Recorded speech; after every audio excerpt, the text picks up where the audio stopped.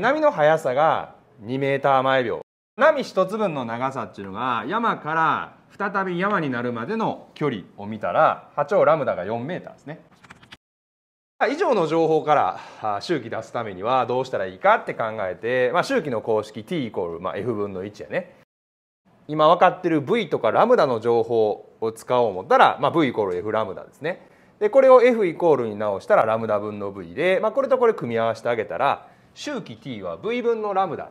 波1個進むのに必要な時間は波1つ分の長さを速さで割ればいいと。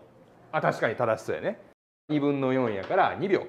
括弧の2番縦波って何か言ったら進行方向に対して媒質の振動が平行なんですね。だから図示すごいしづらいんです。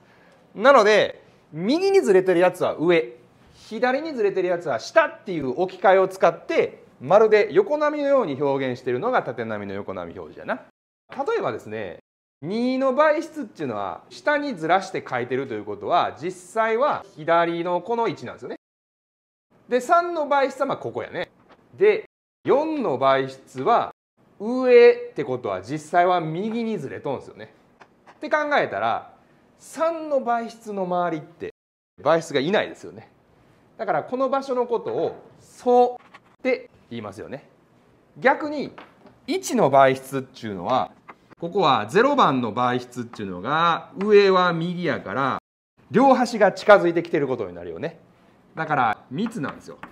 っていうのをま考えてあげたらこの問題そうになってるのは3で同じ理由でマイナス1が答えにはなるんですけど、まあ、いちいちこんなこと考えてたら面倒くさいということであの味噌汁で知るっていう話ねカタカナの「み」が書けるところが「密」ですよカタカナの「そう」が書けるところが「そうですよって感じでパッと見つけてあげるのがいいかなと思います。だからこの問題は層の場所っていうのはカタカナの層がかけるマイナスの1と3っていうのが正解と。では続きまして今度は括弧3番今時刻 t イコール0の瞬間波の先端が x イコール5に来ましたっていう yx グラフが与えられてるんだけどこのそれぞれの媒質の速度を表す vx グラフっていうのを書きなさいっていう問題ね。各点で速度を考えて波のグラフを書いてあげたら OK です。振動の様子確認しておくとね。振動してるんですよ。端っこっていうのは向きが変わる場所やから一瞬止まってるんですよね。これ V イコール 0V イコール0に対して振動の中心っていうのは速度が最大なんですよね端が0で中心は速度が最大。まずここまでで点を打ちたいんです。まず端っこは速度が0だから例えば原点は速度0ですよね。それから x イコール2の1も速度0ですよね。で x イコール4の1速度0ですよね。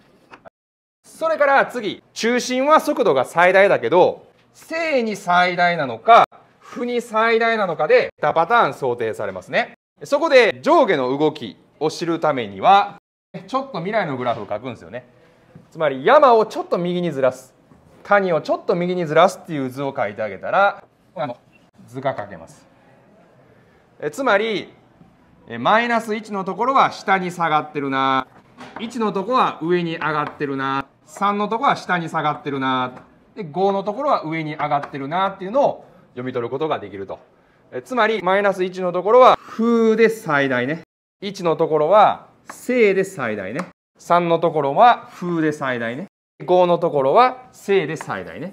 あとはこれを結んで描いてあげたら OK です。まあ、波の形を描いてあげたら OK ね。でなんでこれが波の形になるかっていうのはまた波の式とかあるいは単振動を勉強してからでいいと思いますんで。4番はまずこの壁が自由端の場合を考えます。自由端反射について確認なんですけれども自由端反射は媒質が自由に動けますよねだから山で入った波は山で戻ってくるんですよその様子を、まあ、めり込んだ状態を作図して考えますよね。でこれをそのまま左にパタッと倒しますから反射波っていうのはこういう形になるんですよね。つまり山が山で戻ってきます。じゃあこの場所には同じ形の波がぶつかり合いますからいわゆる逆光2波。ここに定常波ができます。よく振動する場所が腹全然振動しない場所が不死。で交互にあって左右に動かない。73番でも出てきたよねじゃあまずこの括弧「あ」の問題ですけど t イコール0の時波の先端が壁に到達したと書いてあります。でそこで跳ね返って再び x イコール0に先端が達するまで何歩進むか言うたらくるっと反射して12345 5メーター進めばいいよね。だからあ距離割る速さで2.5秒。2.5秒後に x イコール0に達しますよっていうのが分かるね。じゃあその時入射波はどんな状況になってるかっていうのを考えますけどまず入射波は5メーター進むというのを考えるってことは今この瞬間先端から5メーター後ろのところを考えたら良さそうやね。じゃあ5メーター後ろのところっていうのはちょうど原点の位置ですけど山ですよね。じゃあこの山が壁の位置まで来てるような波形を書けばそれが入射波になります。えつまりこれね。ちょうど壁が山になってますよっていう図が t イコール2.5の入射波ですでこの時にさっき考えたみたいに反射波の先端が原点まで来てるんですよ。で反射波は山が山の状態で跳ね返るからこのあと山が来てるよね。入射波と反射がちょうど重なってる状態なんですよね。OK。なので合成波はどうなるかというと変異の足し算をしてあげたらいいから山はめっちゃ山に谷はめっちゃ谷になってるそして壁のところも山山同士って考えたらいいからめっちゃ山ってことになりますよね。はい、これがま合成波の様子です。でえさっき壁が腹やっていうのを使いましたけどまさにこれで分かりますよね。自由端反射の場所っていうのは常に入射波と反射波の変異が2倍になる場所だから山と山がめっちゃ山になるつまりここは定常波の腹の位置だっていうのがまあ明らかですよね。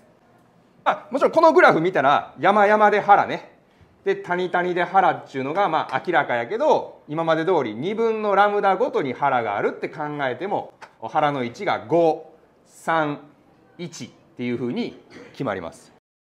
で少し時間が経てばこのマイナス1のところだってきっと定常波の腹になるんでしょうね。まだこの瞬間は違うけどね。じゃあ節の位置はどこかと言われたら腹と腹の真ん中が節ですから4のところが節2のところが節そして0のところも節になるよっていうことが分かるよね。それが次の括弧うの作図で大事なんです。今考えたい倍質 x イコール0は節になるから定常波が始まってからは変異が0になります。じゃあまずその2.5秒までつまり反射波がここに達するまでの YT グラフを書きたいと思います。今書く YT グラフは x イコール0の倍質についてですね。でこの YX グラフは時刻 t イコール0の瞬間を表すグラフやから t イコール0だけ読み取ることができますよね。それがさっき星印で描いた山であるという情報ね。えつまりこの yt グラフの時刻 t イコール0の瞬間だけは読み取れるんですよね。山だと。じゃあこの後下がるしかないですよね。下がるよという波を書けばいいんだけど2.5秒がどの辺なのかっていうのを考えなあかんね。1回振動するのに必要な時間っていうのがまあこっからここまでなわけやけどこれが周期ですよね。この問題の周期いくらかというと括弧1番で2秒っていうのを求めたよね。だから山の状態が再び山になるまでまず2秒かかるんですよね。じゃあ2.5秒っていうのは山がちょうどまた真ん中に戻ってきたって考えてあげたらいいよね。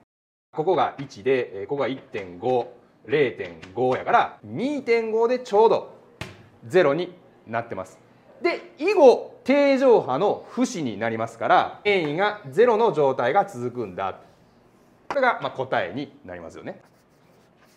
じゃあ固定端反射の場合、括弧5番固定端はめり込ませた後に上下にひっくり返すという手順が一つ加わります。したがって山の部分が谷に谷が山になると。でこれを左にパタッと倒しますから山で入射したら谷で反射するんですよね。これが固定端反射です。常に固定端の倍質は0になります。じゃあ括弧の E ですけれどもまず入射波の波はさっきの E と同じですね t イコール0で x イコール0の山が x イコール5まで到達している波をまず書いてあげると。で反射波はどうなってるかというと谷の状態の先端が、まあ、ここまで来てるって同じように考えてあげたらいいかな。これちょうど山と谷が重なるようなグラフになるんですよね。だから変異が打ち消し合ってちょうどゼロになっている状態になります。じゃあどこが節でどこが腹かですけどこれ2つの観点で即答できるようにしてほしいと思います。まずは固定端反射だから壁が節ですよね。2分のラムダごとに節ですよ。節ですよっていうのが分かってほしいかな。でその節と節の間に腹があるってもちろん考えることができるんですがおすすめはですねこのグラフ見たら腹の場所が一瞬で分かりますよね。それが逆光2波の交点。これが腹ですよね。右に進む入射波白と左に進む反射波黄色が交わる場所。こういう場所が腹なんです。こういう場所が腹なんです。でもうこれまさに交わってると言ったらいいから x イコール0の場所も腹なんですよ。これ絶対できといてね。逆光2波の交点腹ね。ってことで今考えたい x イコール0の倍質は腹だから2.5秒後以降は振幅が2倍になります。だからさっきと同じだね。2.5秒までは同じように振動してそっからの振幅を2倍にしてあげたら OK えつまりこんな感じで書いてあげたら OK ですね。単に振幅を2倍にしたらいいよね。だって入射波に反射波が重なって振幅が2倍になるだけやから2倍にすれば OK やね。